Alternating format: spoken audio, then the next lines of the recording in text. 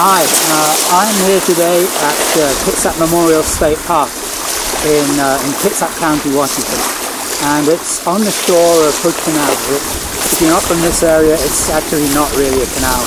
It's a deep water fjord that was carved out by, um, by the glaciers, and it is a major arm of Puget Sound. And by extension, then, it's also part of the Salish Sea. And this is a really good habitat for sea-run cutthroat trout. It's fairly deep, but it's shallow inshore. Um, there are streams up and down the canal that uh, the trout can use for, uh, for spawning. And uh, when they do spawn, they actually only spend a short time in fresh water. Uh, then they come out and they will spend most of their lives actually foraging on the beach where there's uh, much richer food source. Right now it's pretty cold. Uh, it's about 36 degrees today. Um, and behind me to the east there's a big bluff that runs along the whole beach. Um, and that is going to shade the sun, which is good in one way because it keeps it keeps the uh, the water, nearshore water, pretty shaded, and the fish like that, um, so they keep feeding. Uh, the downside is uh, it's going to be really cold.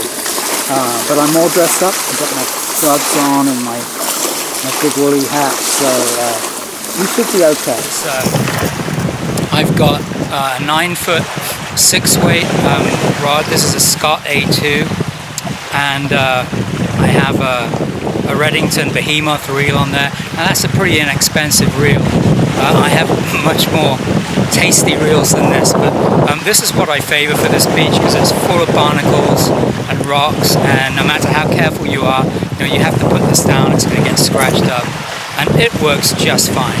Uh, you pretty never, pretty well never have to get these fish on the reel. You're mostly stripping them in. So so long as you've got a halfway functional drag, it's going to work just fine.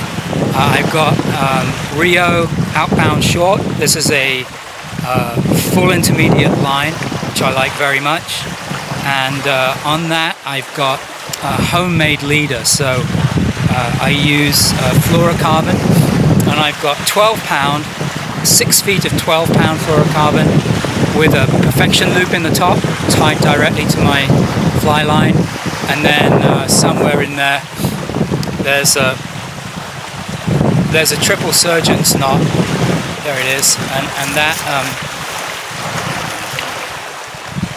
and that takes me down to uh, eight pound fluorocarbon three feet. So all in all I've got a nine foot a nine foot leader. And uh, and I attach my fly um, with uh, with a little loop knot a non-slip loop knot which keeps it uh, keeps the action So the flies I'm going to be using today, uh, I'm going to start off with uh, with these. These are uh, these are Delia conehead squids, fantastic pattern. Got lots of confidence in those, and and that's going to be my default fly in the winter and fall. Then I've got uh, I've got some squimp in there, uh, and then I have some uh, have some wingless crazy charlies there in, uh, in pink and chartreuse. And if none of those work, on the other side I have uh, I have some silly shrimp here, uh, chartreuse ones and some orange. And then uh, this is a cool little fly. I've, I've got a video on how to tie this. This is the Marmot Bay squid. That's pretty good. And then uh, I have some Knudsen spiders back here. So if you've seen my videos, you'll know that I really like fishing surface patterns. So um, I've I've brought a bunch of topwater flies with me. So I've got um, some Miyawaki beach poppers there, uh, and I've got my own tiger squid. I've got some uh, I've got some mini gurglers, and I also have some uh, some sea, sea run sliders here. But I don't expect to be using those. Um, if I do, I brought my uh, my trusty Lamson Litespeed and that's got a floating line on it. But I really want to stay away from the top water flies today. Uh, now as you can see there isn't very much beach today. Um, here in the Pacific Northwest during the daytime, uh, the tide exchanges are small. So at night, um, right now, the difference between high and low tide is about 12 feet. So here, the tide is going out right now, but it's only going to drop about four feet. Um, and it's going to get low at about uh, three hours from now. So my favorite time to fish this beach is, is actually on the outgoing tide. And then it's still pretty good in the low, and then for an hour or so after the low tide. On this beach, there are very few features. It's pretty much the same the whole length of it. Um, there are no like uh, structures or points or anything like that um, that might hold fish more than any other place. So what I tend to do is to move around um, and uh, just fish in different places until you know until I catch. I'm not expecting to catch a whole load of fish today. Maybe one or two would be great. If I catch three or four, that's an outstanding day. So uh, let's get started.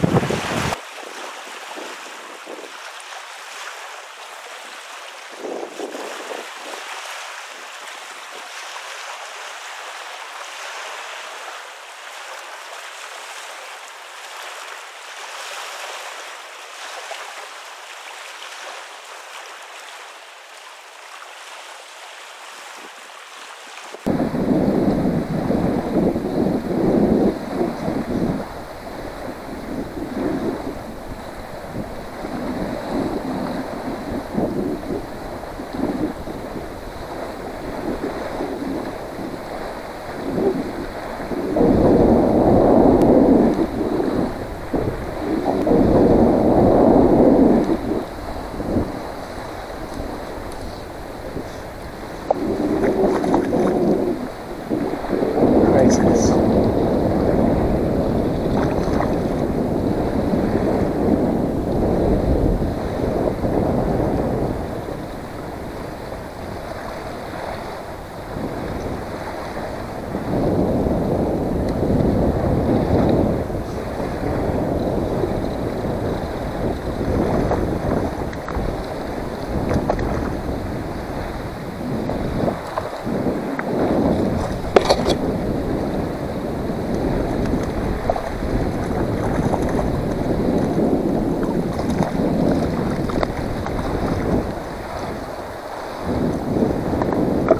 Okay, well that was uh, that was about my third cast, I think, and uh, I literally was just retrieving the fly, and it, it, just jumped at it.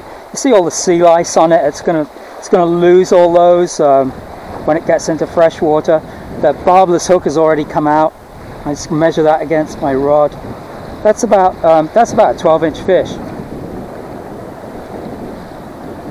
Release him very gently he goes.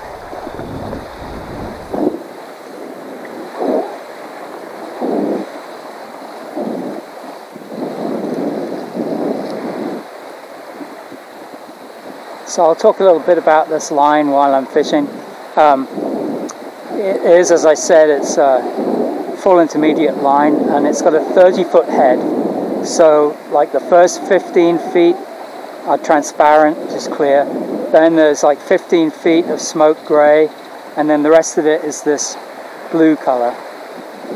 So um, basically, you know that you've got uh, the rod properly loaded when that 30 foot of head is just outside of the tip of your rod.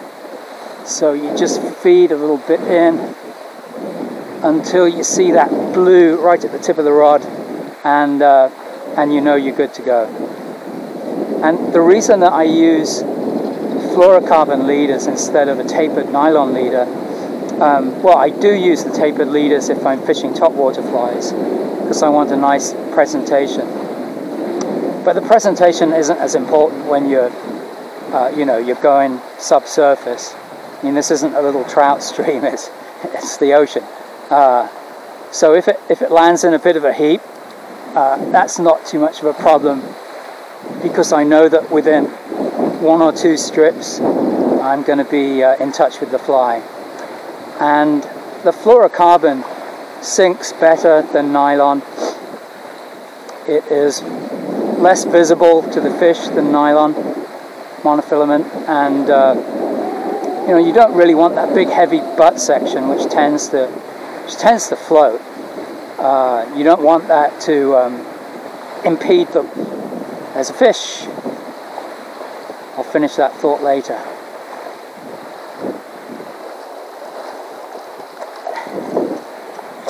This isn't a big one.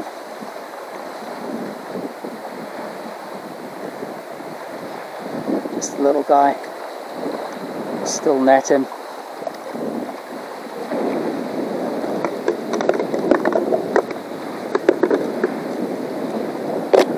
Calm him down and again the hook has just come out and he's gone very cool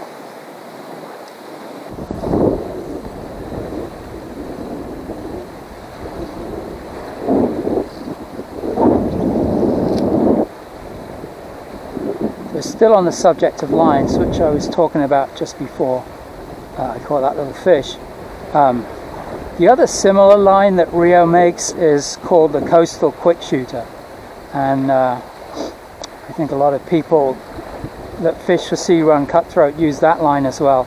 So I've tried it, and in my hands, I, I just don't like it at all.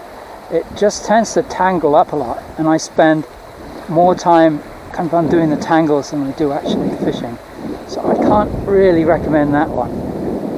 We've got a little tangle there, so no lines are immune to it, but this one's generally pretty good. I've just moved to the other end of the beach, and from here I can see in the distance the Hood Canal Bridge, which connects the Kitsap Peninsula to the Olympic Peninsula, and uh, that kind of marks it's real close to the northern end of Hood Canal.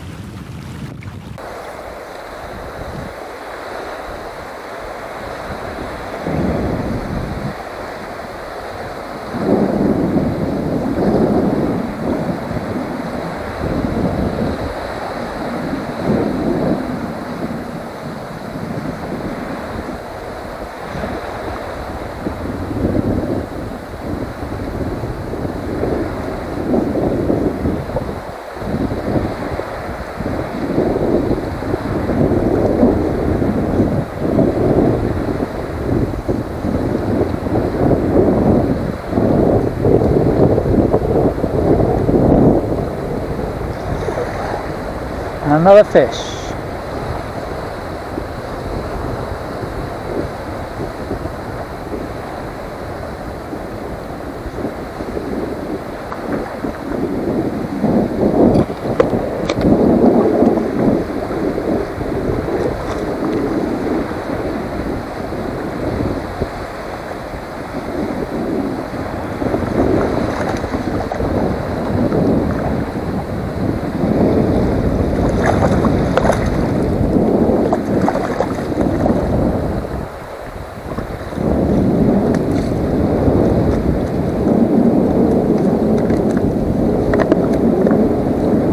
Plump one. Hook is out. I'd say that's a good that's a good 10 inch fish.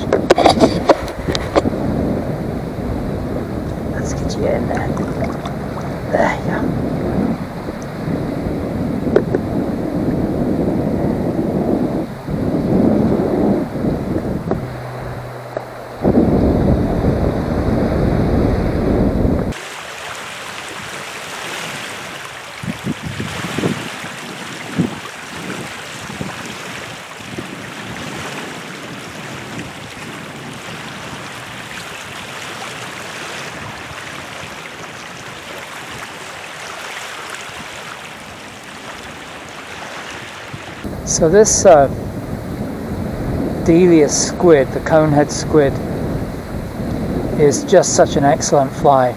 It's very simple to tie and it is just so effective. Um, I did once meet Jeffrey Delia, the guy who invented it, um, and it was at this very beach. Uh, it was in the parking lot, and he told me that um, he will not wade on this beach anymore. He considers it too treacherous. and he does have a point. And the objective hazard here is that most of the uh, rocks that compose the beach are kind of baseball sized or softball sized, but interspersed amongst them are these very big and irregular boulders. And it's uh, just a, you know, they're everywhere, these boulders. And uh, if you're fishing and you're not paying attention and, and you're moving, and your toe contacts one of those uh, one of those boulders, uh, you're kind of unprepared for that sudden check to your forward momentum, and it is really easy just to pitch forward. And I have nearly come across it many times here. So it used to be that if I saw a fish, say, you know, 100 feet away, uh, I would move towards it and uh, the tendency is to keep casting and fishing as you're moving towards the fish. Well, I don't do that anymore. If I'm fishing, I concentrate 100% on, on the fishing, and if I'm moving in the water, that's all I do. I just concentrate on moving and, uh, and not falling and tripping.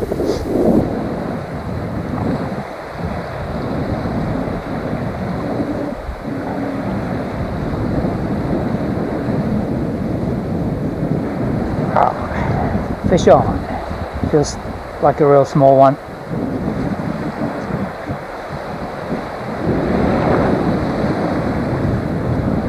They all count though.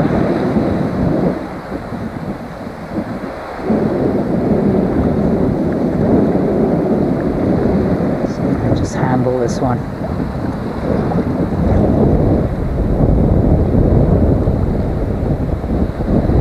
That is actually a uh, that's an immature coho. Whoops. Come on, buddy.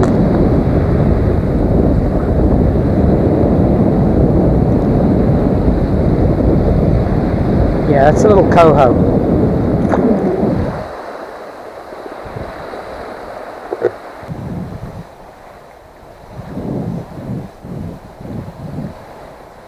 So one thing do usually like about fishing this time of year is that um, the weed, which can be a plague during the summer, has generally disappeared. But today there's a, a lot of um, dead uh, eelgrass floating around. I mean, it is just everywhere.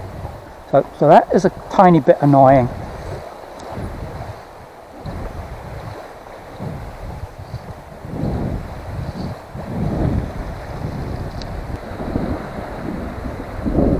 It's uh, 11 o'clock now, so we're about half an hour from uh, low tide, and I don't know if you can see that, but the sun is just about peeking uh, out over the top of the trees up on that bluff. So we're still in shadow, but um, we will get some sun very soon, and uh, I definitely need to feel some warmth. It is very cold here. My uh, my hands are very cold, even though I've got the gloves on. And for me, if I can't feel the line properly, uh, that's basically a showstopper for me.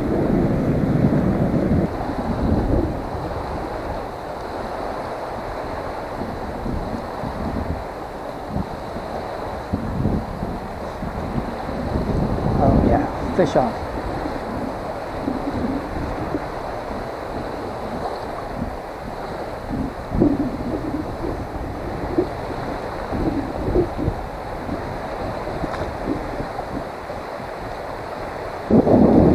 This one feels like it might be a bit bigger.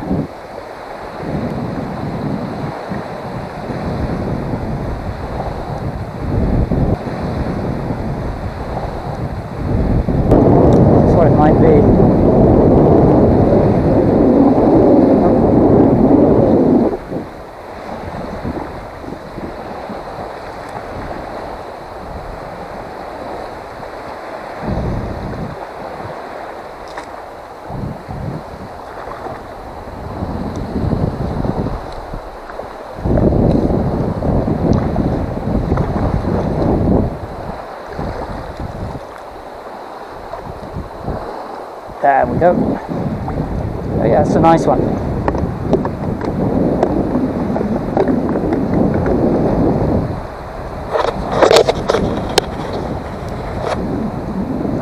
You can see that.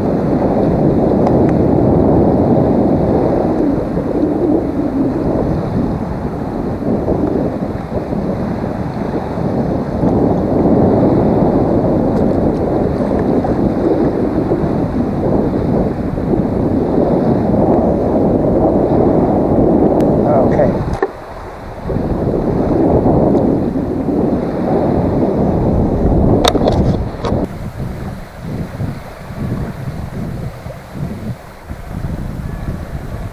Well, the noontime bell is ringing there in the background, and the sun is fully on the water, and this weed continues to be a bit of a problem uh, as far as presenting a fly goes.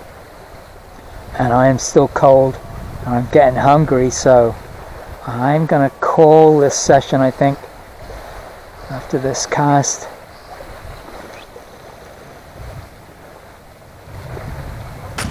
So yeah, it's been about uh, three and a half hours. Um, I said at the beginning, I think if I got two fish, I'd be happy, and I ended up getting five. Uh, so that can't be bad.